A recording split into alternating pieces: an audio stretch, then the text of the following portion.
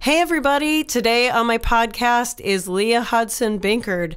She is operations manager at Banner Music. Uh, she's a Troy University alum, and she began her career, you know, nice place to start your you're working at Nashville Songwriters Association, uh, NSAI, where she served in so many roles um, from advocacy and membership, and then she became the director of membership and songwriter events.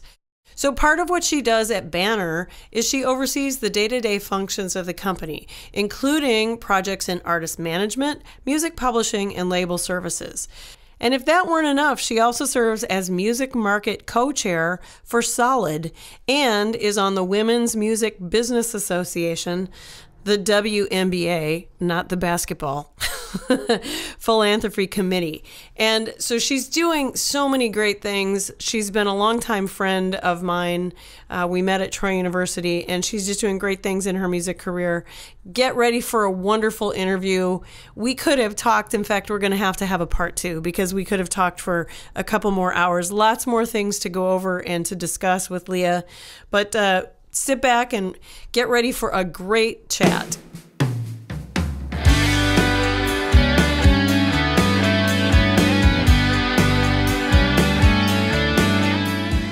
Hey everyone, it's me, Jilla Webb, your host of Walking with Purpose.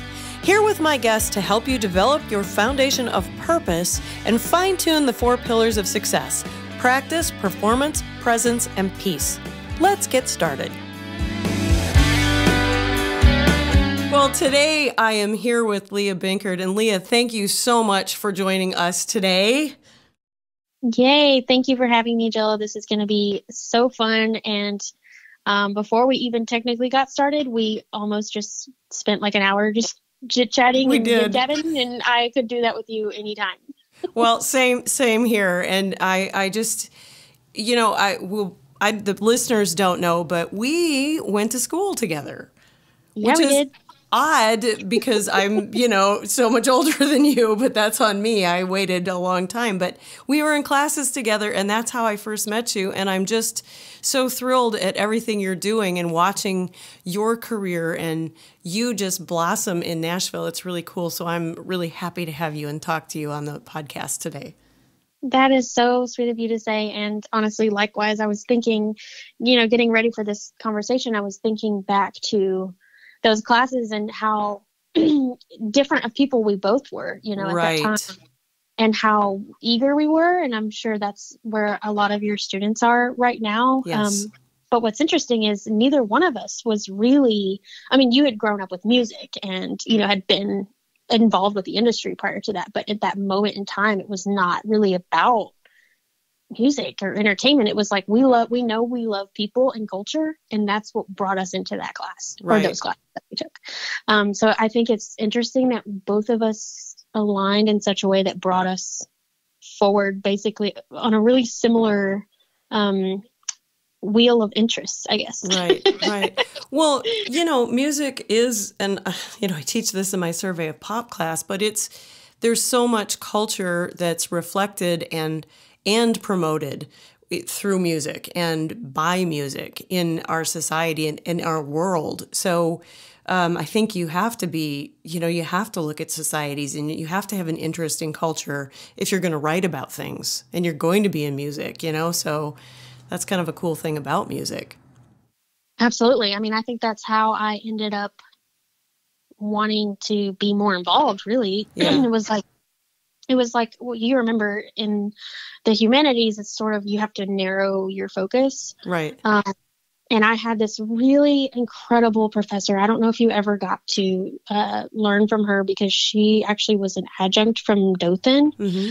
um, uh, her name is dr geneve brooks and she taught some really incredible sociology classes but um, one of them was called social change. Mm. and during that um, we did like a special study basically of um, songs that changed American culture starting in like 1963. So wow, starting great, yeah. in yeah, and then up to present day, which at the time was you know into the 2010s, early 2010.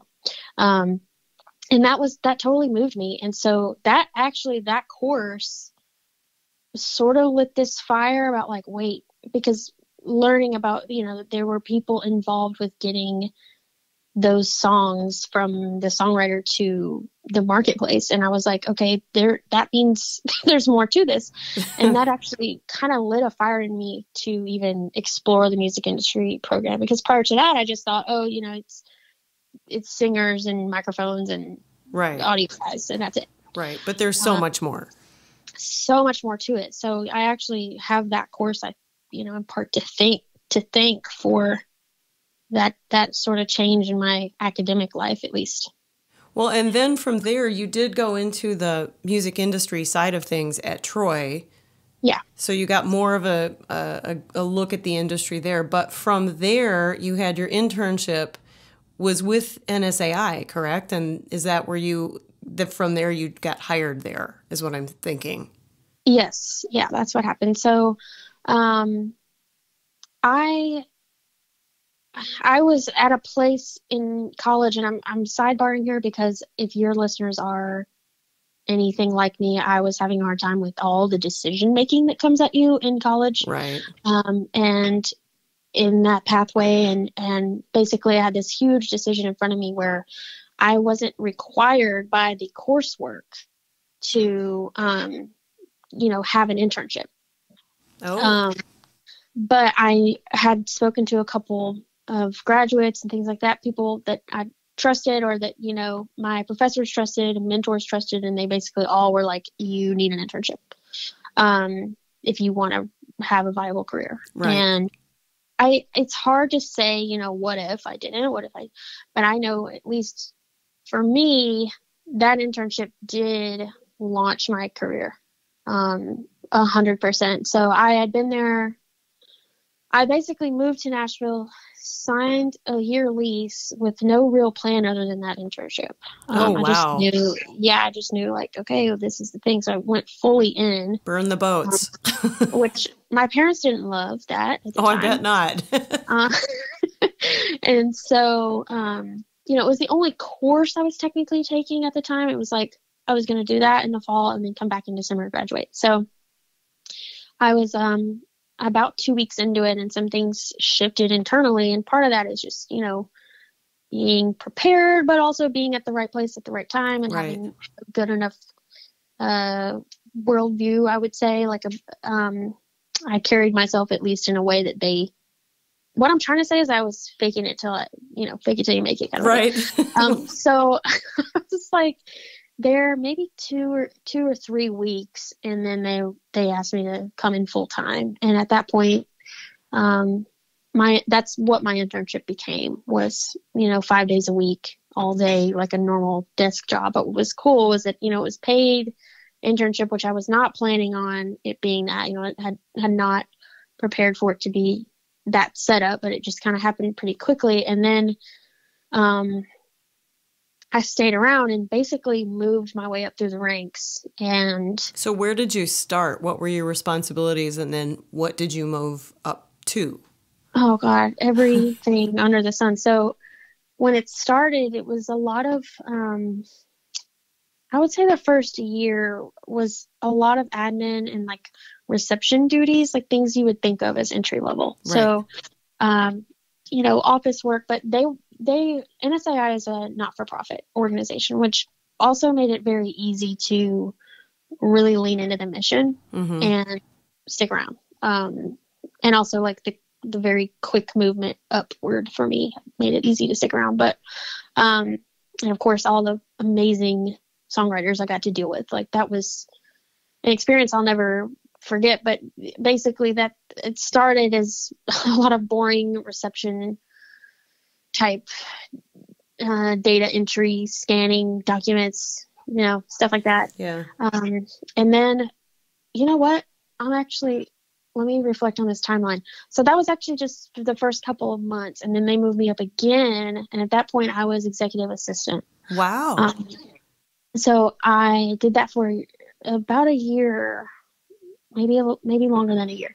Um, and so when that shift happened, I was thrown into the legislative world. So I was going to DC. I was planning congressional meetings. Um, you know, I I have to be careful not to say that I was like strategizing, but I was definitely in the conversations around, um, you know, the important discussions and the tact that goes into um, passing a law, mm-hmm. passing a bill into law. So and that so was. We're talking about the Music Modernization Act that you were working yes. on, right? Yes, that was that was the exact timeline. So I started doing that in January of 2018, and then we passed the bill in October 2018. So what was it so. like to go to to DC and actually be there and be a part of that? That's really cool it was overwhelming for me at that age um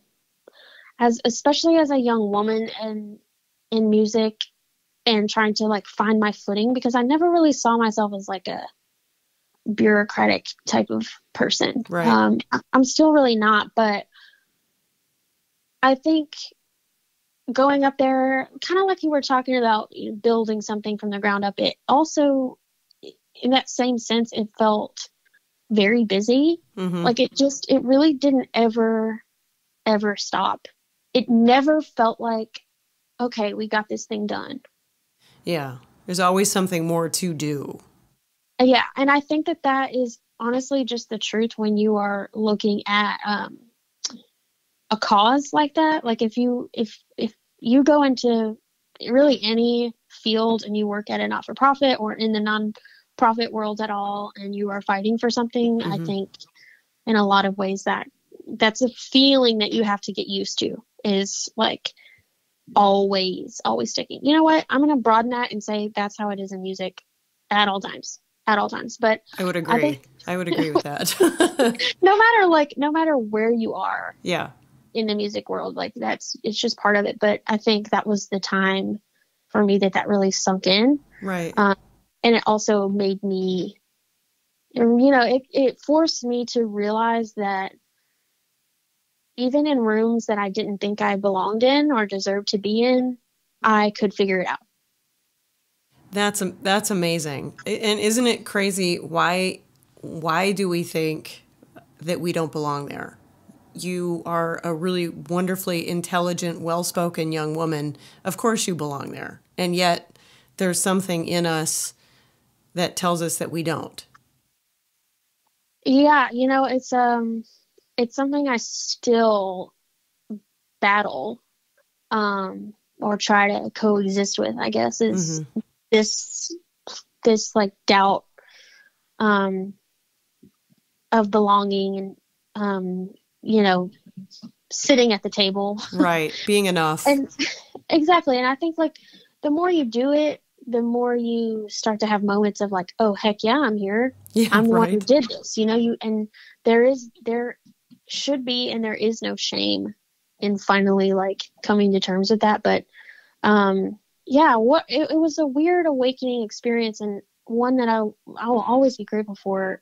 It was just um I also learned like it wasn't creatively fulfilling enough for me. Mm, interesting. Um, although it was you know that position in particular. It it was uh eye opening in a lot of ways and and you know it was close to the cause right. which is important. Exactly. it felt yeah. like okay i am helping songwriters even though i feel removed from the art a little bit. Right um, so that was interesting. Now, along with that, though, and in this company, I know you worked with a lot of songwriters, and I know that on these trips, a lot of just really amazing songwriters got to go and sit in the room. And is that where you got to meet some of these people, or tell us a little bit about the journey with the songwriters and um, just you know, I mean, songwriters are fantastic. They're it's just an amazing creative uh, vibe that goes on when you're with them. So, give us some information about what you found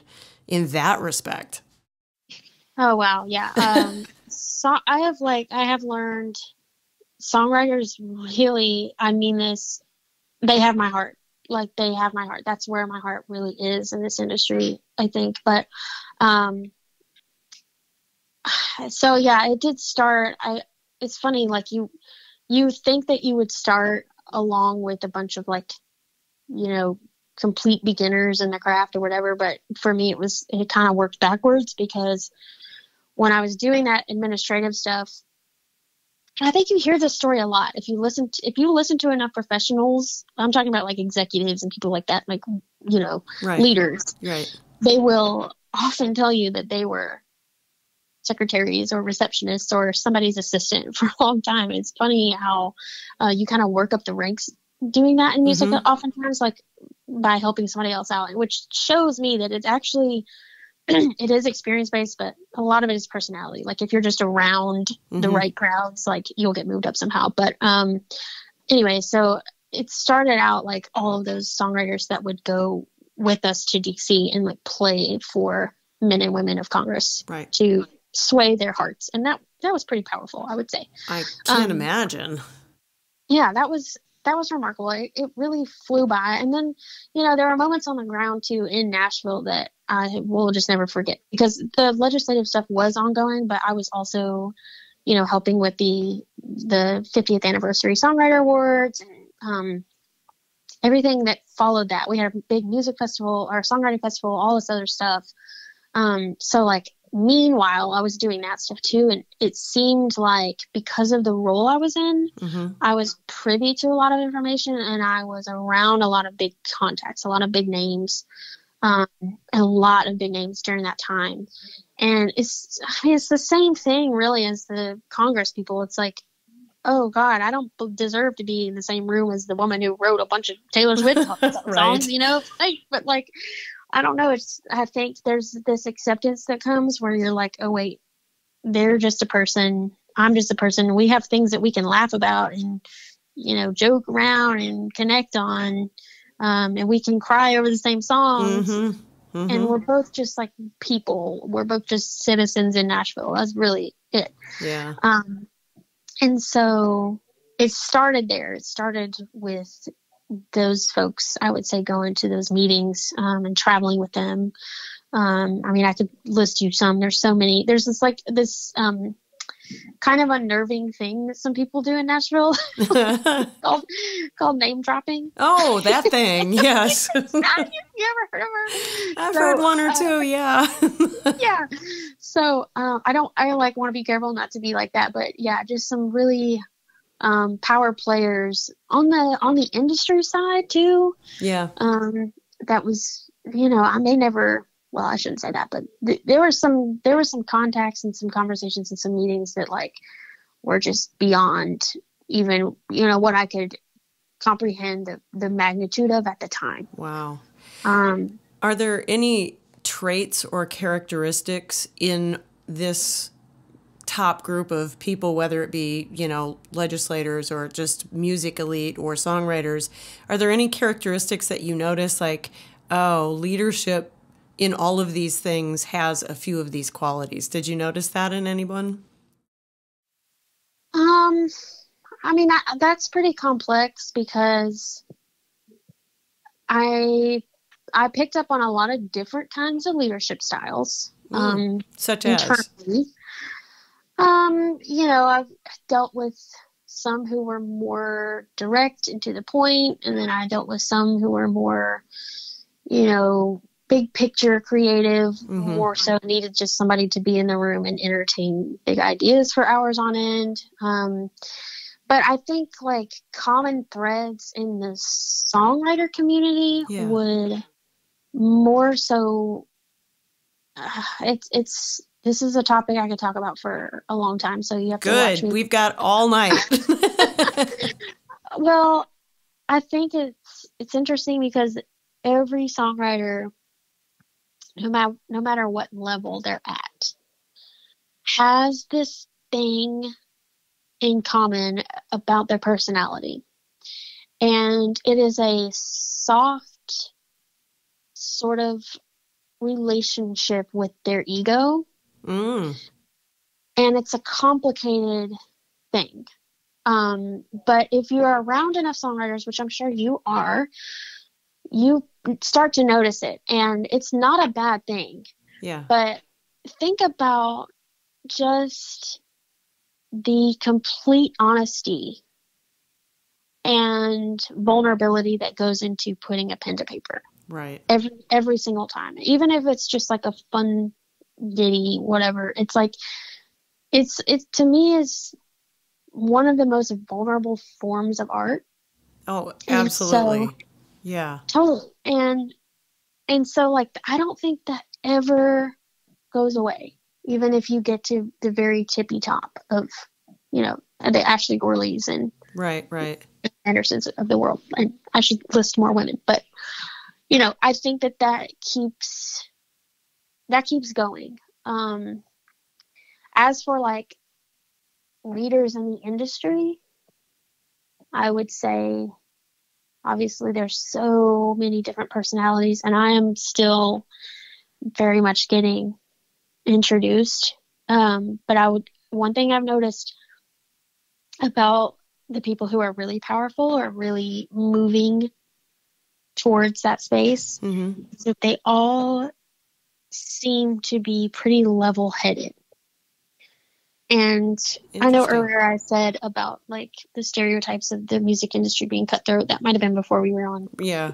recording, but that is while that's true, I think there's a um, shift in leadership that's happening, at least at like you know really respectable companies and growing companies and um, healthier work cultures, um, where yeah, the leaders are um, they're not like ill tempered, I guess. That's good to hear. Um, Yeah, and in general, I mean, seriously, I don't know how long have I been here? Five years, six years? yeah. I really have rarely, rarely come in contact with someone who is just an a hole, Right. you know? And like, if they are, they're climbing from the bottom and probably staying there. Right. it's funny. It's like kindness and generosity goes a long way. A long way. At least in Nashville. I've heard that LA is different, New York is different, and obviously, you know, back again to culture. Right. Um, but the Nashville culture, I think, and I, and again, I'm I don't want to like rose-colored glasses this or sugarcoat it in any way. Yeah. But what I have found is that in general, people are willing to help you. People are willing to help teach you. And I think that that is true in the songwriting community and on the industry community and certainly the artist side of things. Now, that doesn't mean that like greed is not at play anywhere or that, you know, there are issues you know there there are issues aplenty with the, the way that the industry is set up which is why NSAI exists in the first place because Right. it's like you know to Yeah. correct those but i think like on a person to person level um i've found that a lot of leaders especially are you know genuinely good people Well, and I think too, part of leadership, part of good leadership is learning to form a team around you that work well together and that are reliable and trustworthy and show up and go above and beyond. I mean, I know you're one of those people, so that I know plays into everything that you're doing because your work ethic is amazing. And I think when you surround yourself with people like you and others like you, um, that builds a different kind of culture. yeah i think um i guess on the it's a community right like Mhm. even even beyond just the office that you work in nashville in particular is a small town yes, really the music industry is a small town yeah, Like- it, the whole thing is yes, it's it's a complex web of of moving pieces hmm but you know names repeat in communities. Hmm and people serve different roles in different communities and that that is kind of fluid. Yeah, but what stays the same is like your your reputation as being like you said having a good work ethic or like having a, a positive um, mentality or um, you know being pe- people like to say this thing like the hang like you have to have a good hang Yeah. and so a lot of it really is social um but i yeah i appreciate you saying that about my work ethic because that's i think that's like one thing i can be proud of Oh, you can be proud of many things, many, many things. But yes, that is. You know, you always. Oh, sorry, I live on a loud street, and occasionally we get the loud car. um, you always showed up prepared and over prepared, and you were the first one there and the last one to leave, and uh, that, you know, that speaks highly in a business world. And having, you know, having people on the team like you, uh, that's valuable. That's very valuable. yeah i think so after um after i was assistant for a year and a half i got moved into a membership role which was more creative um you know it was more it was more um closely related to the writers and their progress and their Okay. craft etc um and a short time after that i was moved to director of membership Wow. and so I, at that point, did work with a team, um, you know, and then the pandemic happened. So and shut down the world. totally, and everything that I was planning and doing in membership was related to like in-person large scale events like you know seminars and conferences and things Right. Um, so shifting that and having these people on my team who were incredible, like they were like me, you know? Yeah. Um, and that's why they were there. That's why they made it, so to speak, um, too, like me, because they were smart and they were at their respective colleges probably the, the same type of people, you know, Right, that right. showed up and stayed late. And and those people, um, it's so easy to get a read on like who is that and who's not. yes, it is. because like not everybody that I've worked with in my whole career has been amazing like that, but those those standouts. I'll tell you what, those are the like every quality that you just said. It's like those are the reasons that I was able to be a leader there hmm because I had I had people with those qualities on the team, um, and it made it a lot of fun. And I think that's so important. Like even even despite the pandemic, I was having so much fun because, um, you know, we were turning things virtual right. and whatever. Um, working from home, hello, got some work life balance. Like, Right. I got a lot of yoga pants out at 20. Oh, yeah, a lot of yoga pants, a lot of dog walks, which I, I think Yep. yeah, it was great. But yeah, no, I think it was um, because I had good people surrounding me at that time. hmm You know, it made it more than bearable. It was fun. you know? Right, right. So, what prompted then? Because now you are at um, Banner Music, correct? Yeah, that's right. So, how did you make the move? So, after the pandemic, you were still there and doing functions, um, festivals, and events for NSAI. What prompted the move, and how did all that transpire? Well, it was a lot of things. Um, I had been there a while.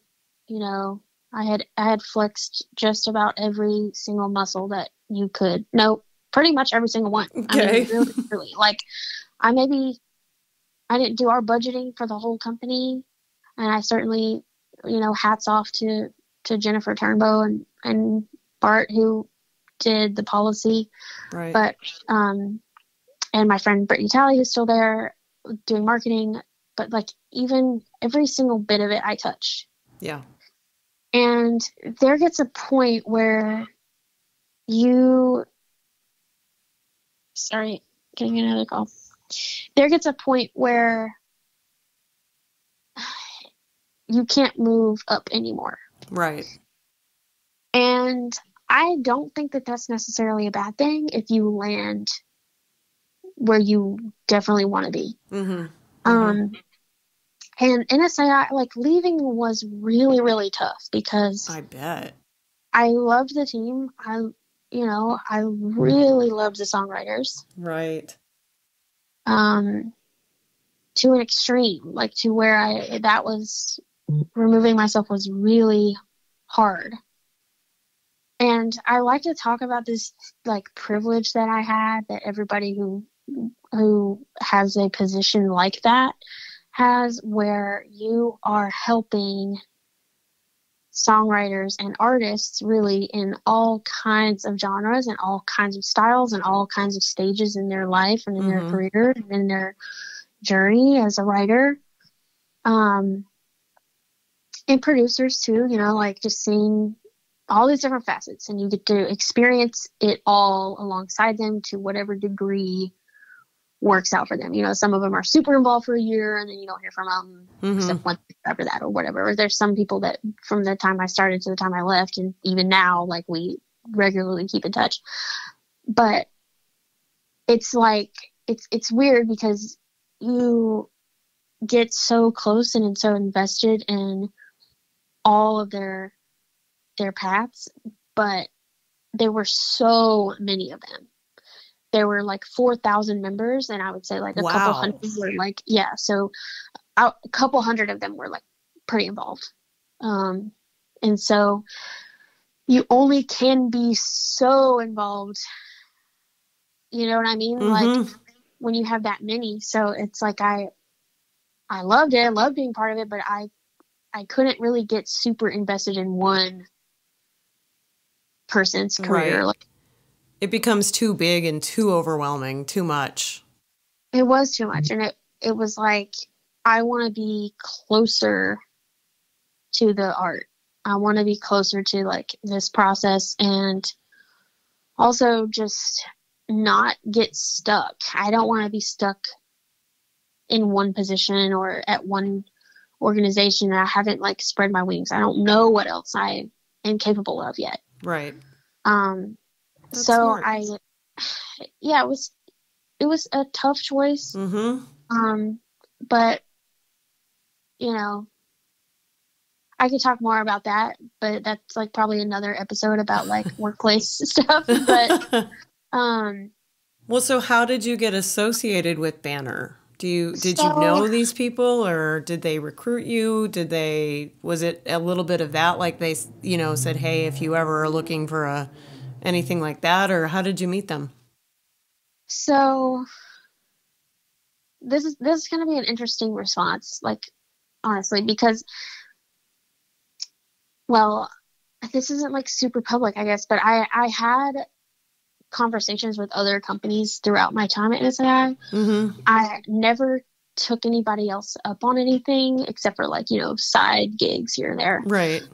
I did a lot of like writing, writing and transcribing and editing and stuff in that time. Um, not songwriting, but like copy. Right. Um, and I did some personal assistant work for some like big artists and things like that. Like I did stuff on the side, which by the way is something you can do. Like if you're a student listening to this, I always thought you can only do one thing, but you can do more than one thing, um, at one time. But anyway, I was thinking not long ago about how like how those things came to be and I got to be honest with you, I never have shown anyone my resume. Really? And that is why I think that's this is going to be an interesting response for like students in particular. Sorry, sorry to the resume class that we're that we're Sorry going through all of our writing our resumes. Look, that's an important life skill. It's an important life skill. yeah. 1000%. If for nothing else, for the very reason to like personally visualize what all you can do and have done and keep doing. So, like, hmm I do update mine on occasion, but I am telling you, my resume did not get me my career in music. Well, I mean, I and I I say this, my classes are sick to death of hearing me say it, so I'll say it here again. But networking is king. Yeah. It's who you know in this industry. A hundred thousand percent. Yep. And the reputation that you have that precedes you. Yeah. Yep. That's exactly it. So that's basically what happened is um I so I was I was interviewing with a couple different positions and um also I had just gotten married so it was like it, it felt like a good time to make a shift in my career anyway. It was kind of Mhm. like okay, let's who do I want to be now? but um I was having a couple conversations and some of them were like more admin driven and like um and by admin I'm talking about like the part of the industry where you register copyrights and you deal with the PROs and right. um which ironically now I'm like totally in, swamped in that at Banner but um but anyway so I was like comparing all these and um I basically just had a friend who said hey I know you're you were looking at some things and um, a friend of mine is looking to bring on someone on her team and so it was like actually the day that I gave my notice to NSAI, which I gave them a, a longer notice because I knew, I knew that that transition was going to be tough. Like it, hmm I had been there a long time. I had a lot of institutional knowledge Right. That had to go somewhere. So, um, so I think I gave them like three weeks or like a month or something. So that afternoon, I talked with Kamala, who is now who I work for now, um, and she it was just a phone call like this, and you know we just sort of got along. I remember she like pulled over to get go through a drive-through and get ribs, like barbecue ribs. That's on the way- awesome. and I was like, well, that's a good sign. Like she's feeling pretty laid back and hungry and like craving some BBQ. I can respect right. that. right. Um, so that was a good sign. And then, you know, it was funny. She, she was like, yeah, I mean, Casey, our, my friend who, who connected us, she said so many good things about you. And, you know, she goes, I, I know that we also have, we have like 50 something mutual Facebook friends or something crazy. Oh wow. So she was like, so I asked, you know, some of those people about you and everything. Had, everybody had good things to say. So what you're saying is a hundred percent true, and that confirms it. But so she was like, um, I heard those things, you know, and she goes, the thing is, I've already offered the job to someone else. Oh man. Like I had already, I had been, I had got into her ear too late, which was like, I was like, okay, interesting. Well, you know, thanks for taking the call anyway. You know, I'm juggling a bunch of different interviews right now anyway, so it's Yeah. fun. And um, that person didn't work out, and I had told Kamala that on the phone. I was like, hey, I, you know, I have heard good things about you. I had more than one friend who had worked under her or worked with her before. I just didn't know it at the time, but I had Mhm. contacts. I had contacts that I could ask or get coffee with or whatever. So, you know, she vetted me. I vetted her. You know, that's that's what you do. You say, hey, what do you, what do you think of this? Um, and it was all you know positive. It was all positive, and so um, you know, I I had that conversation with her a couple times over the phone. And then um, we met in person, and you know we really hit it off. She's she's such a sweetheart, and um, she's a small town girl, you know, and, Mhm. and she, she totally built herself up from the ground. Like she started pitching her husband's songs like almost four years ago, and has just completely built her own career in publishing um, and in management now. So and in in publishing admin now. So she's she really has done a lot in her career, and I was like, this would be awesome to learn, you know, from her. Um, so that was almost a year ago to the day that I started. Um, so yeah, it was all interpersonal. It was all conversation based, you know, energy based, I Yeah, guess. yeah. Um, and for me, it was like the selling point really was you'll be the operations manager. So it's a small company, but you'll get to oversee everything. Oh wow. Um, and I was like, that is what I want because I want to see how it really literally works. Right. Really, literally works. And so the past year, that's what I've been doing. Um, and also, Banner has a booking agency. Mm-hmm. Um, I mean, it's very, very small. I can't stress that enough. It's we're a really small company, but um, you know, we have a lot of movement, and we I have learned how to I've watched, you know, up close and personal with with um, bookings, like huge buy sell deals. Right. I have. And for our people that are listening that may not know what a buy sell deal is, can you explain that? Yeah, so basically, like if a talent buyer, um, at like a festival or a big venue or something, is like they're just looking for talent in like in general. Mm-hmm. Um, you have a booking agent who will like deal with that transaction. So they'll the booking agent will go and talk to their other agent friends or their artists that they have and try to, you know, try to get whoever they want and then oftentimes like the company or the agent or both will keep a commission on it and then Mhm. like basically just like run run the money through uh, so that neither party has to deal with the other. So like, you know, if if um I think of a good artist name because I don't want to like incriminate anyone. I don't know like how things ended up. So let's just say artist A. artist A is like gonna be booked at this big venue and it's like it's a baseball stadium hmm but the buyer like really doesn't know anything about the music industry. They just own this venue.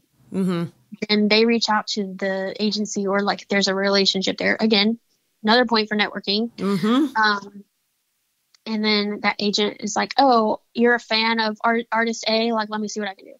And they facilitate that deal. Okay. so I got to see that and learn up close about that, um, and also from like the the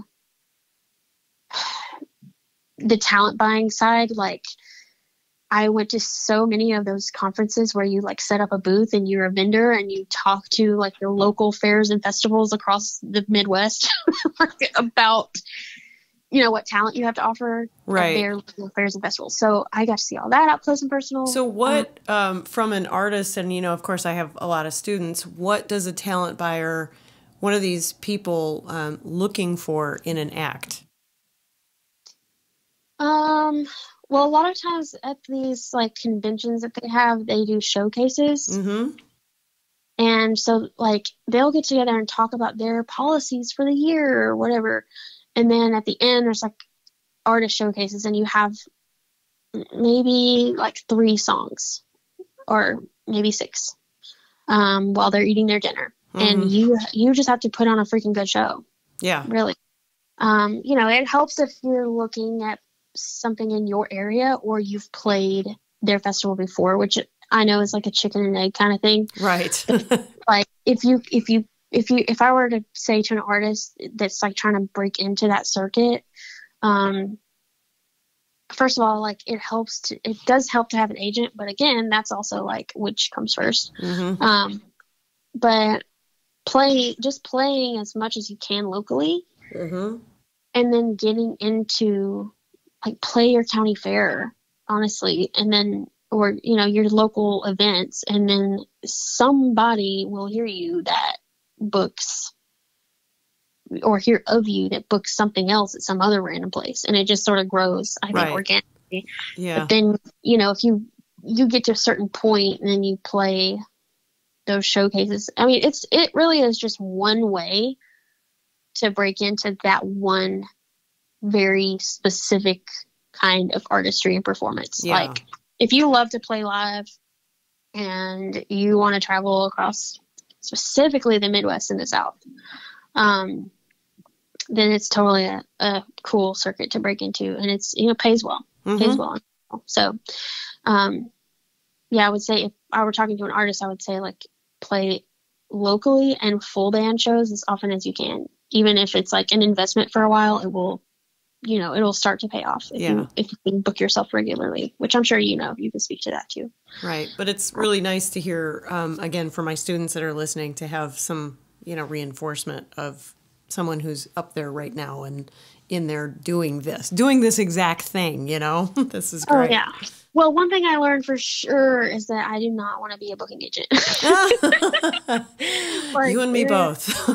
it's oh my god it's i think you know i may someday do it on like a a different scale or like if i were if i were working at a venue or a festival hmm I think that'd be one thing, but like working on behalf of the artist is really, really tricky. Yeah. Um, in booking specifically for me. Now, I I have obviously seen people do it and do amazingly well at it. hmm Um, not to mention, like it's one of the only areas in the industry that you get commission from. Right. So like those people work super hard, and then you like get a couple big deals, and then you can like take the whole month of December off if you want. Um, so uh, you know it's it's totally a viable career path if anybody wants to do it. But here's how you do it: you get an internship at a booking agency. There's a couple like major ones, and then you become an assistant to an agent, Right. and then you stay there long enough, and then you'll become an agent. Mhm. Like that's there's that's how you have to do it. Yeah. So if you have students who are interested on that side of things, I, that I would recommend looking, like doing some research on the agencies that have the talent that they're interested in, because Right. it it definitely helps if you believe in the act. you have to enjoy the music that's on their roster to really have again and we talked about this before we recorded but having that why and having that passion and that mm-hmm. thing that really motivates you because this is hard it's hard to pitch an artist it's hard to work on the on behalf of someone and there's a lot of no's before you get a yes you know Yeah, so a hundred percent. Yeah, and like being that mitigator is a really important role. And I like, I have okay, so I'm basically here's my list. I learned about the agency side of things. I learned I have learned about um, distribution, like actually, you know, putting music out and the Mhm. options that go into that. Um, publishing both creative and administrative at this point now, luckily. mhm. Um, business operations and accounting. wow Um, and most of all, the shining star for me is writer management and artist management. oh very cool so Um, yeah talk to us about that what is so you do day-to-day kind of management stuff with artists or do you have your own artist at this point Well, some of that. Um, okay, so some of what Banner does, and the reason I brought it up is because, like, being the liaison on a booking end is so much different than on the management side. Because on the booking side, you sign a paper, get that paperwork done. Like, so this is to the students. If you feel like you like to, if you're good at negotiating, if you're good at advocating, and then good at like letting something go and you want a fast moving thing that you just go on to the next project, go on the next booking, Mhm. go into book. If you like to be involved with like the nitty gritty, go into management.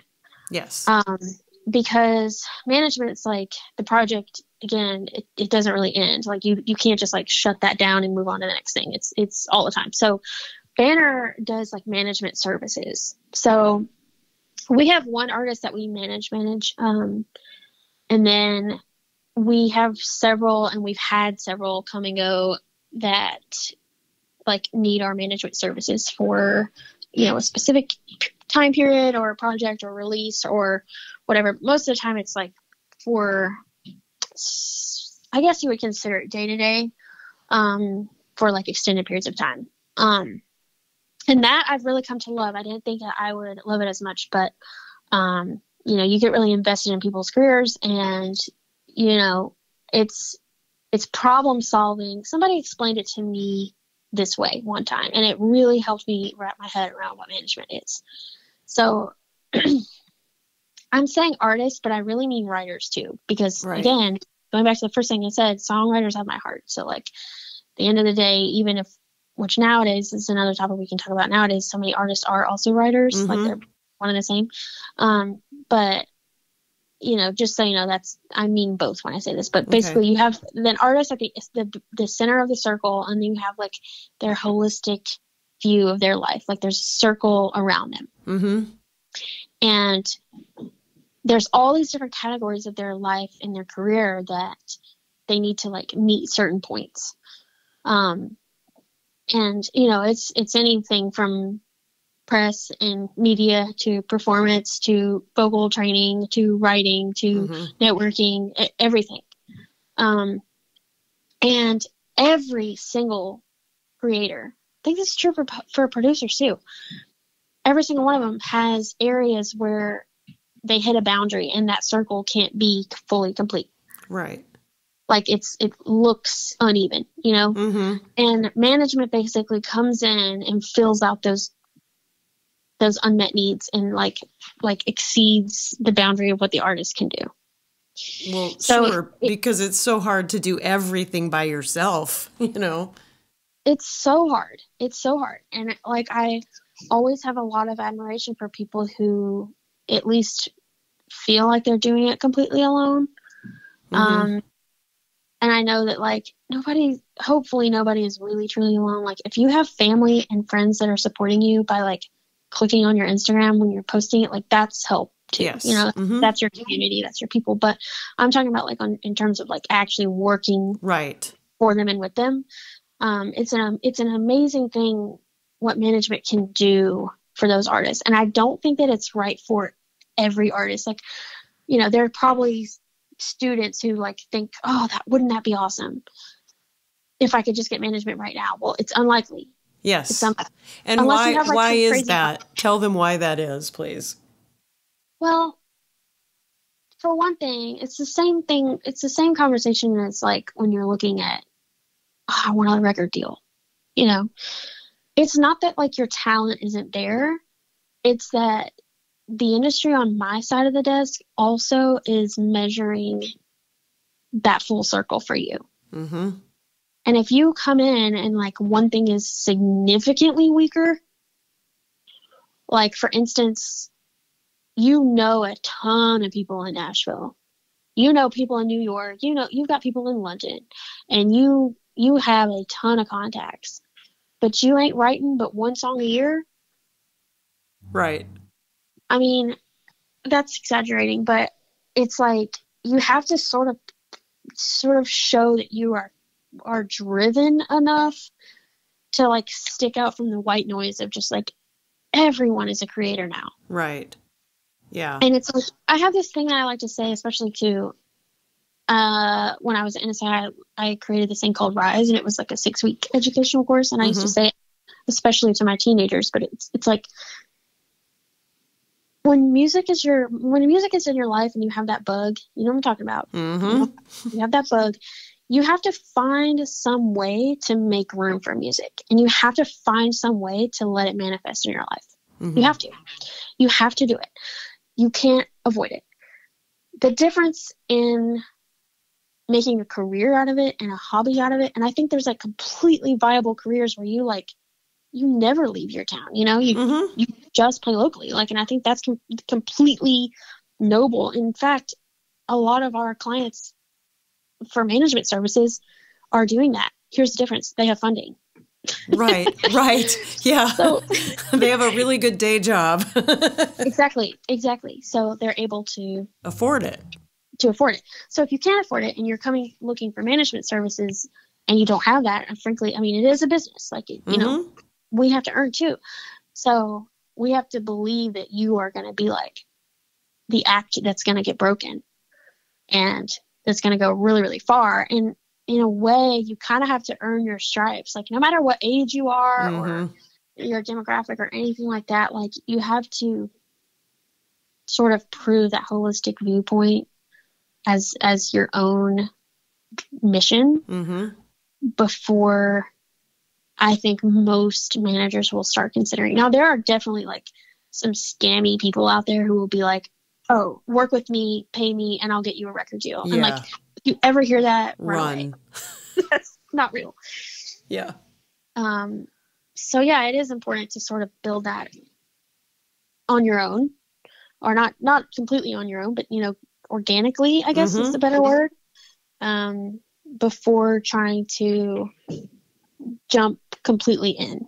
Um, and with that said, like we have we have worked with artists who have only ever released one song, but there that's a different sort of business model. Well, and you know, I think too, and I'm running into this. I'm it's the first time I'm teaching uh, the record company class where it's really about the business side of this, and I think people coming into the class were sort of shocked at, wait, what? we're not just gonna like sit around and talk about music. all semester? Well, no. There's a whole other side of it that has to be. It's a business. This is the music business. Yeah. yeah, there's that saying that's like it's it's not called the music music. right. yeah. Well, that's a fun thing to come to terms with, I think, for artists and writers especially. Yeah, and I mean, you have to have uh, you have to have evidence to back up what you're saying. You know, if you have eight million, you know, Spotify plays or whatever, but um, and you're you're wanting to play in I don't know, Nebraska or something, but none of your followers are in Nebraska, well, you may not get booked in Nebraska because you don't have anyone, you don't have a market there. Mm-hmm. You know, and I, I think not a lot of people are looking at what the business people are actually interested in. Can you fill the venue? Yeah, a hundred percent. Yeah. Yeah, that's that's a hard it's a hard thing and I think it it honestly parallels with writers who are wanting like a publishing deal. Yes. Um because you kind of get clouded in this like oh my god, wouldn't it be nice if somebody else was just paying my bills and I could just write songs full time? And it's like first of all, there's a lot of caveats to that. Um and secondly like getting to that point is so such a giant adventure for a lot of people. Right. Um, and it's not going to happen for everybody. And that's the deal. It maybe isn't supposed to. And the same thing with record deals. Like maybe it isn't what's meant to help your career um, but i would say like your example artist a wants to play in nebraska well that's not unrealistic. That can totally be done. Get you a good friend who's in college or something, like interested in learning how to do management or work on the executive side somehow, who can sit down with you and plan that out and say, how can we take this big giant thing and break it down into smaller goals? Mm-hmm. You know, like mm-hmm. let's do, let's get into that get into that agency world a little bit more, um, or you know, play a little locally, a little closer out there, or whatever. Yeah. Um, there's ways to make things in your career feasible. Yes. To a degree, if you have, if everything else lines up, if you're like, if your holistic circle view of your life and career is looking pretty healthy, you know, if you have a great attitude about things, if you are in the right places at the right times, if you if your art is really speaking for itself you're not having to convince people to listen to you because your music is good enough you know mm-hmm. all those things can pretty much you know land you at the next goal that you want to take it's just like i don't know it's it's a tricky balance of like managing expectation within that right right well it's a lot of um I love this saying too. You know, uh, opportunity knocks and hard work comes to answer the door. mm-hmm. You know, it, it's putting in the work and the the footsteps on your own first um, in order to to get to the place where you can, you know, show some st- sustainability. Wow, that was hard to say. yeah, yeah. um, but so, how would you recommend? Because uh, people, you know, I have a lot of students too that are really um, young, emerging songwriters, and everybody throws this around. Oh, I'm just going to get a publishing deal. What would mm. what would your advice be to young songwriters um, who want that kind of, you know, that want to get somewhere and have people pay them to write songs? How do you do that? Well, Okay. Let's break this down. Okay. Because the first thing to really consider is why do you want a deal? Why do you want a pub deal? Mm-hmm. Because again, I think people get this sort of idea in their heads like, oh, it's I'm just going to have it like it's a full time job and I want to go there. But if you don't understand what publishing is or your publishing means, mm-hmm. you're not ready to have those conversations with publishers and they're not going to have those conversations with you. So I would really encourage you to sit down and think about why do I want to deal? Well, you say, okay, well, I want to deal because I love to write songs and that's all I want to do all day, every day. Okay, that's fair enough. Mm-hmm. Um, I want to do fun stuff all day, every day too. Not that songwriting is all fun. Um, but, and then I think the next step from there is to make yourself aware of the sort of ebb and flow of the companies out there. Mm-hmm. Notice where they're based. Spoiler alert, most of them are here. and like you have to think about I, I do not like the advice of like move to Nashville.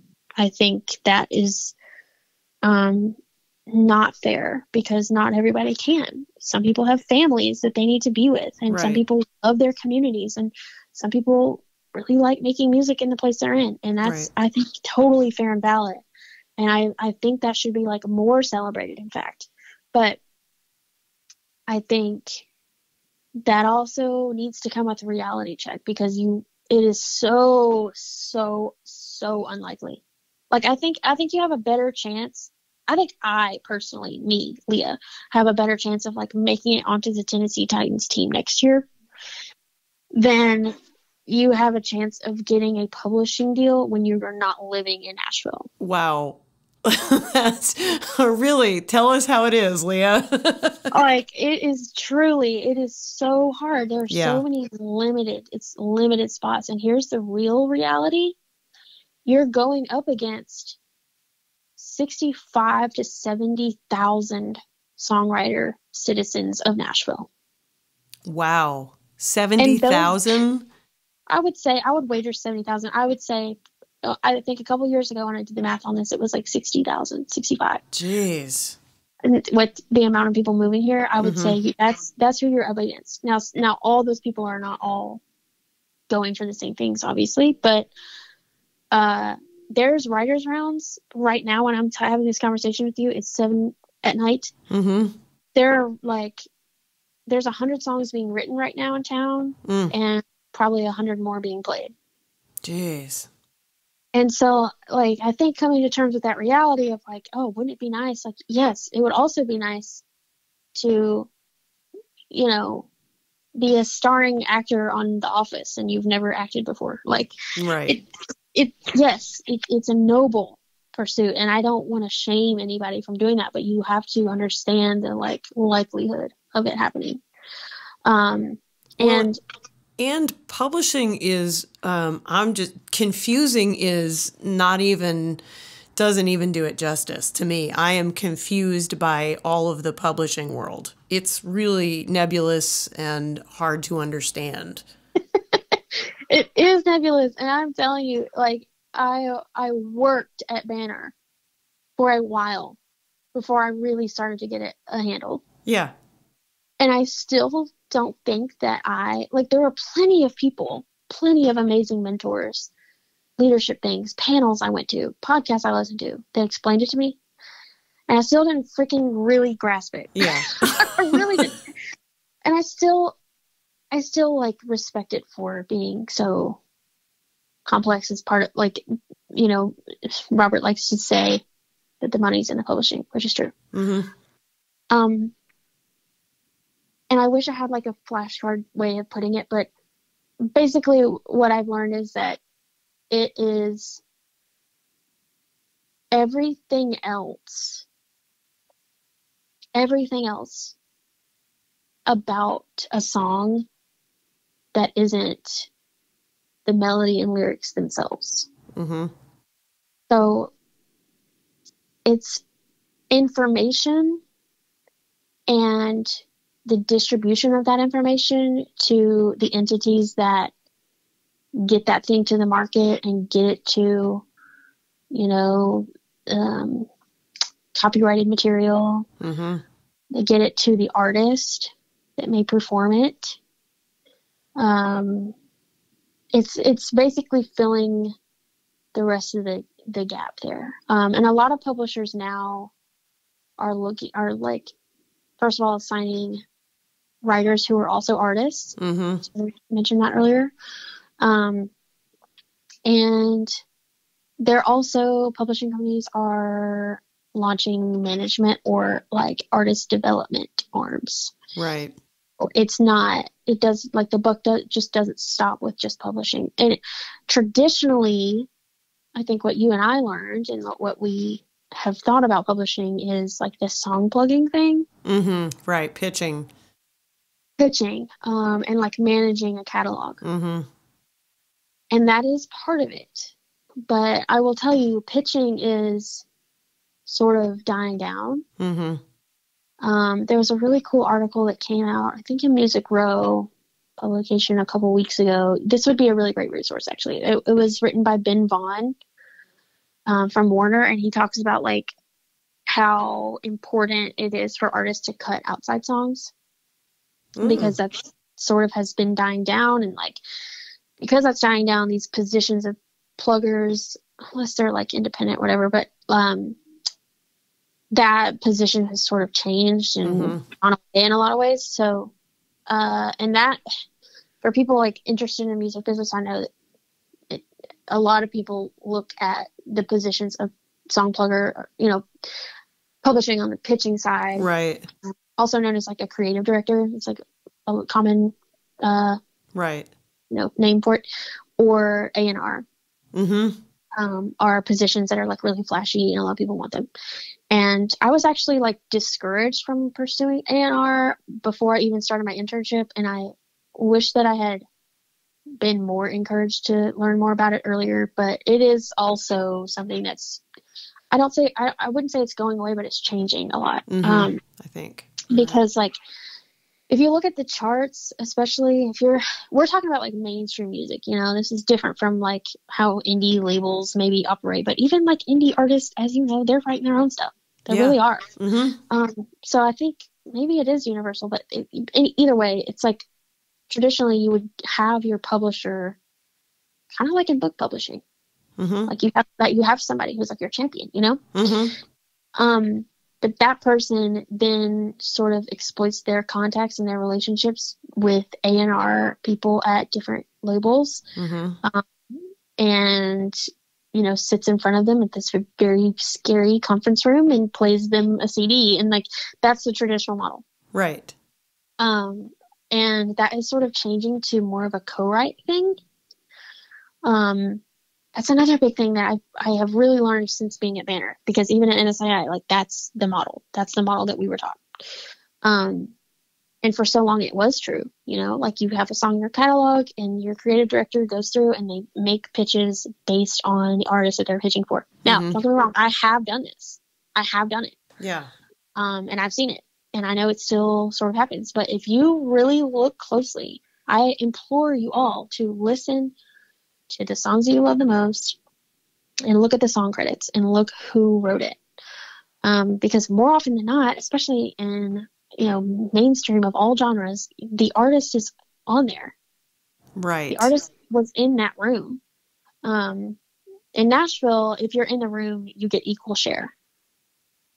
Um, Not always the case. yeah. Yeah, in LA, that's not always the case, or, or New York, or wherever else you know pop music is being created. Um, that's not always the case, or you know other genres. But I would say like, you know, the pop, the CCM, the country, the the alternative or Americana, whatever you want to call it, Mm-hmm. in, in Nashville that's coming out. You know, everything. You've got a writer who is the artist. Yes. And so if you think about that logically, it's like, okay, I'm seeing patterns here.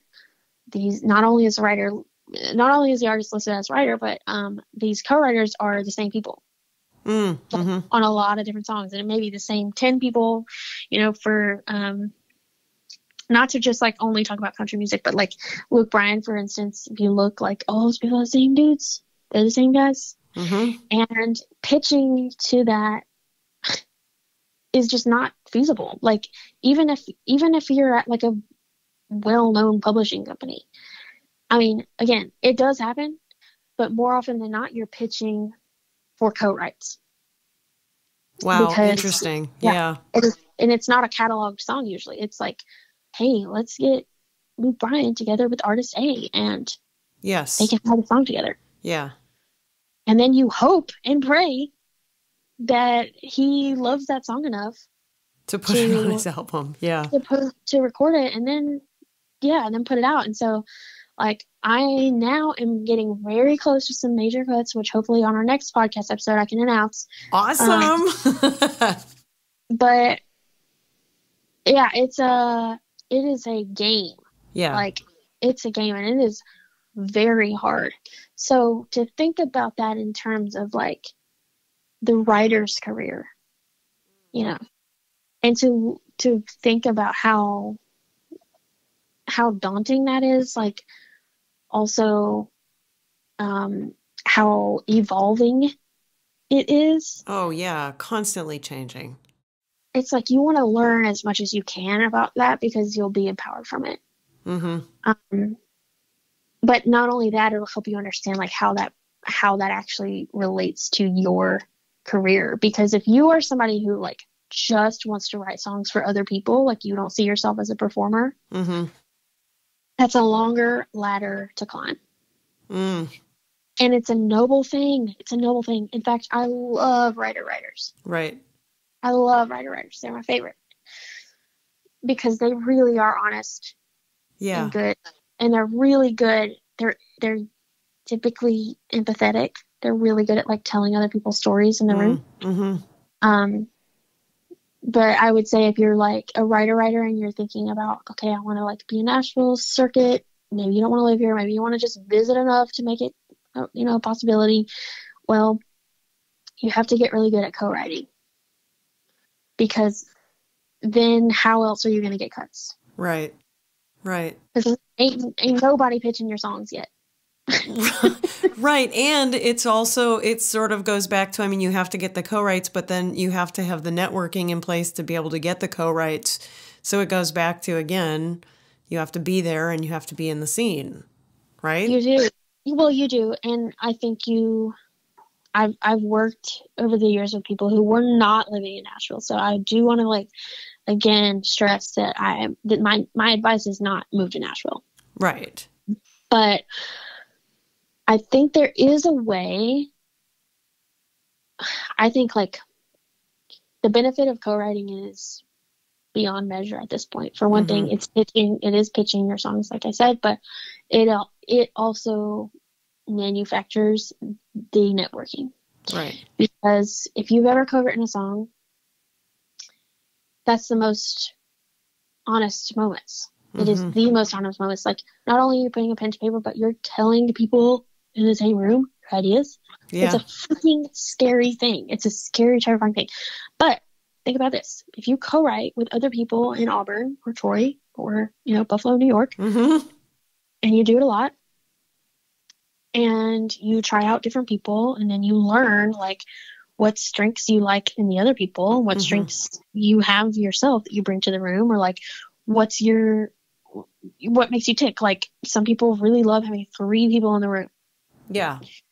some people we call them track people some people like are you know producers of their own right and they like to be in the room and create a track and let me tell you something those people are so valuable so Oh, if you're in audio if you're in audio classes right now and you like it even a little bit freaking learn it Yeah. Yeah. learn it and never forget it because that makes you so immensely valuable in the room because then you can walk away the whole the whole group gets to walk away with a work tape a really good work tape or demo We actually are in the process of, it's funny you should say that. We're in the process of, um, we're going to go record four songs for the commercial ensemble at Auburn. And one of the guys does that. And so we broke into our four different, you know, groups of people that are doing these songs. And I walked upstairs into the studio and they've got half the track already done. I mean, just Yep. the demo, but that's the exact thing. So for Thursday, for tomorrow's class, they walk in with a full, you know, arranged, here's our basic idea, and then it gets to grow from there, which is really cool. Oh, it's really cool. It's really cool. Um, you know, that's that was another thing I wanted to mention in publishing too is like, you know, they do the co-write. Let's say that you do get a big co-write with an artist, or you get uh, what I really do is like get a lot of co-writes with independent and up up and coming artists, Mm-hmm. uh, which is different from like the level of up and coming in Nashville is a little bit different than just like anywhere, you know. Like Mm-hmm. when I say up and coming, like I still want to see like several thousand streams. Right. but um in general but anyway bringing them in there and then pay usually like we'll pay for a demo to be created on that if we Mhm. really want the artist to fall in love with it because then they get to hear it they maybe get to hear their voice on it mm-hmm. and it's like more likely that they'll cut it Right. um i hope none of the indie artists that i work with are listening to this but anyway it's like that's that's this that's the strategy it's like to get them to fall in love with it right so yeah. Yeah. so if you have a track person in the room from the beginning, you don't have to go through that stuff and it is financially valuable. Like so publishing companies love it. You know what I mean? yeah. The la- the labels love it because you can do it on your own and you can really really build a whole career just being a track guy. Yeah. Yeah. You really can. And like an amazing career, really. Important, very important skill. Super important. And then if you don't, I would say if you're not like, if you're like, no, I don't really want to produce for other people, but you know, maybe I could try to take this audio tech class. Take it, Yeah. take it, learn it, learn it. Even like no matter what place in the industry you think you might want to go, freaking learn it because, um, developing that now, like hmm as an as an adult who's working who is once you're out of college basically and you don't have that resource it is a lot more difficult to sit down and get spend the time energy money to, Yes. on learning that skill so like while you have it i would say that that's the you know one of one of the most essential things if you're interested at all in like the creative songwriting artistry side because Yeah. then you can always like create your own demos for you. Even if it's just a piano vocal you know how to mix it. Right. enough. Mix it enough to get the point across. Like nobody really out here is looking for like amazing demos. I promise you. They they are not. We want to hear like do the lyrics make sense? Am i understanding the melodic flow of things? Hmm um maybe if it's a pop song you might have some other elements in there but like by and large it, it really is less is more but it needs to be like a clear less is more. And if you can bring that to the table hmm yourself as an artist as a writer like that just goes so much further i think than is like often talked about. So Yeah. um highly highly encourage that skill.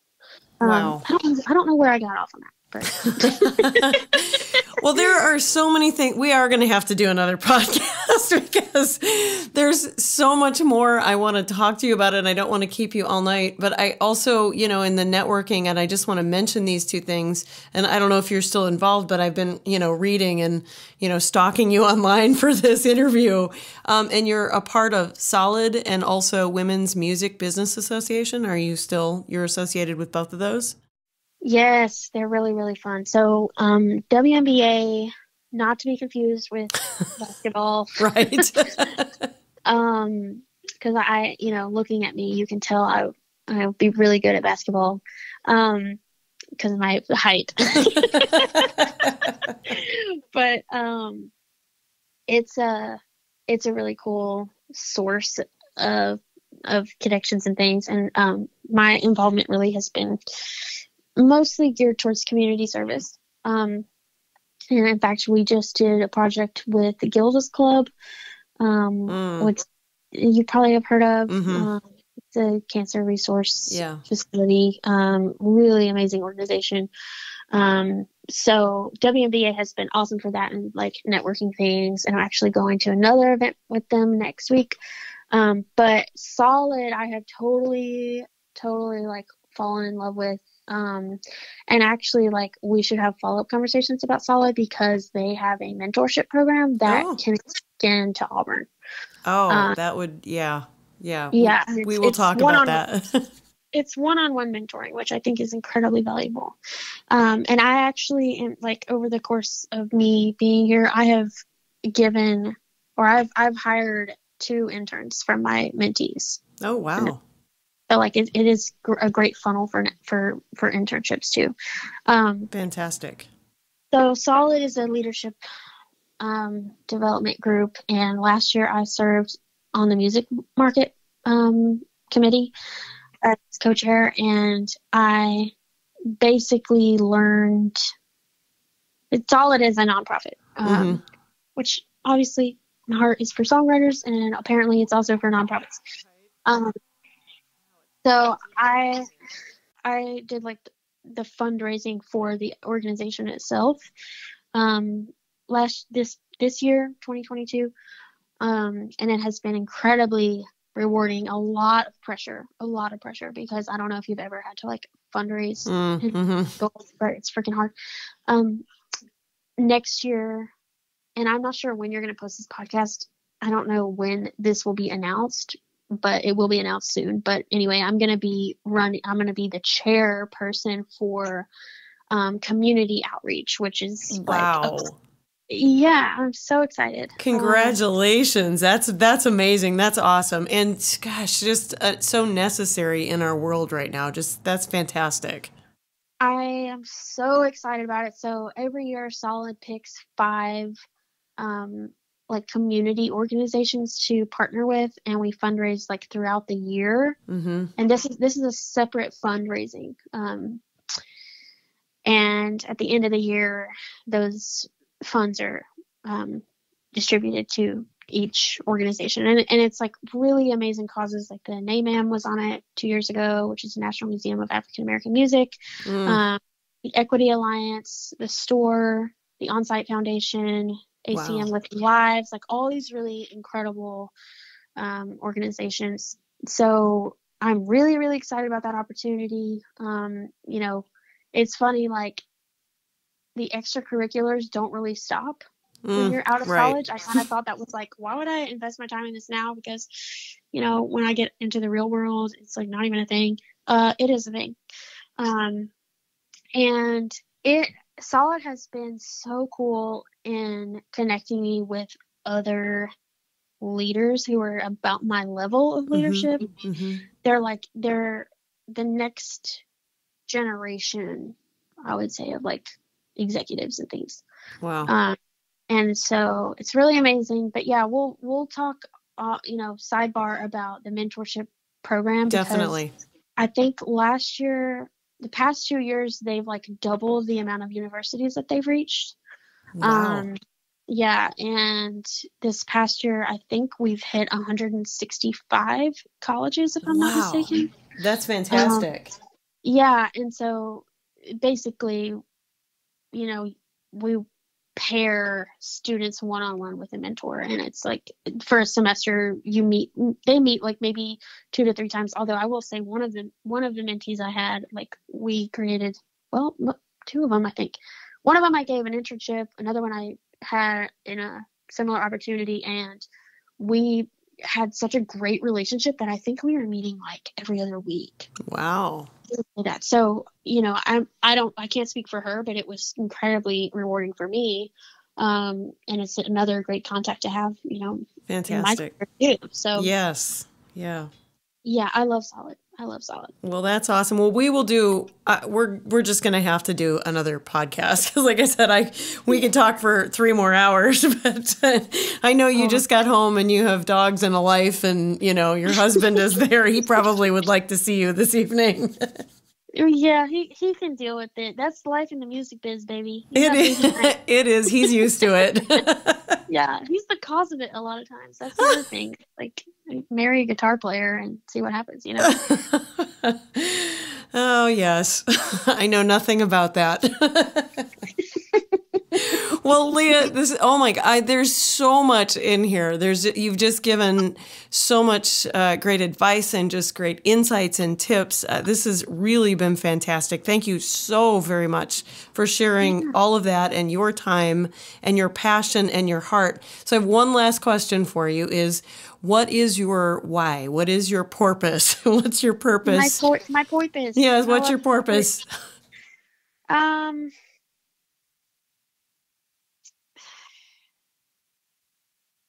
I, I will say this, and I want to caveat it. Um, I think music is the thing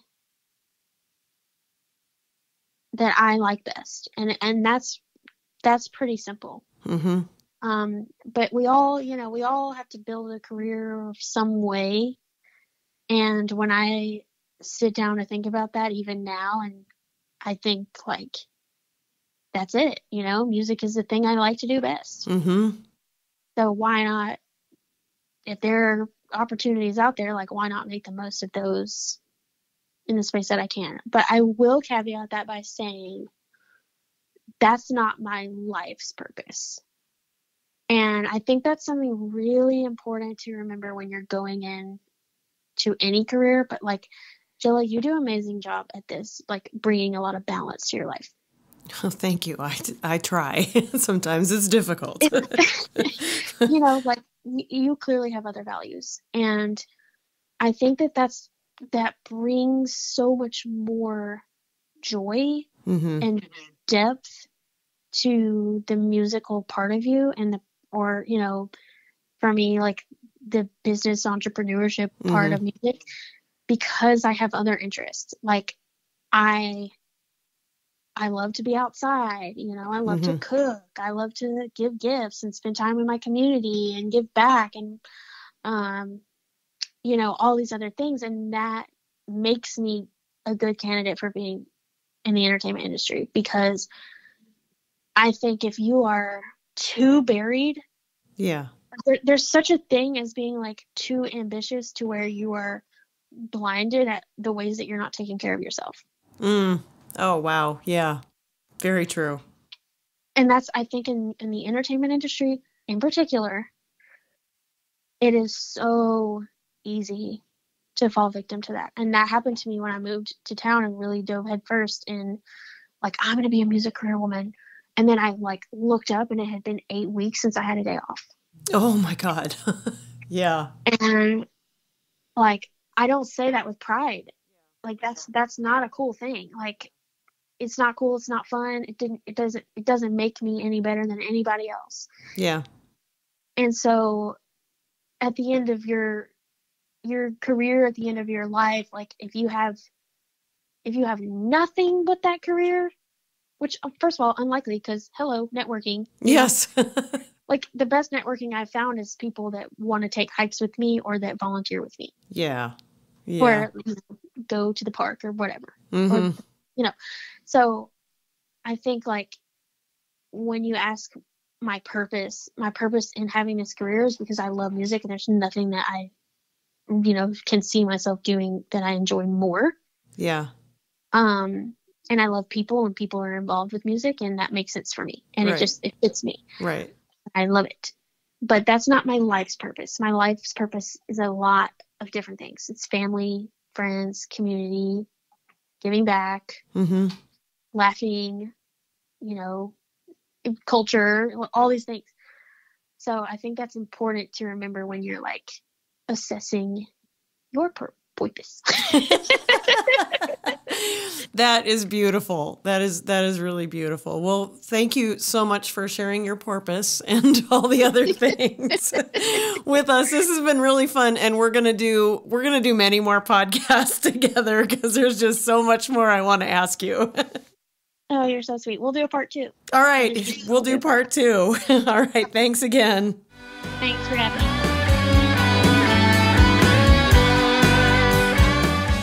Thanks for joining us today.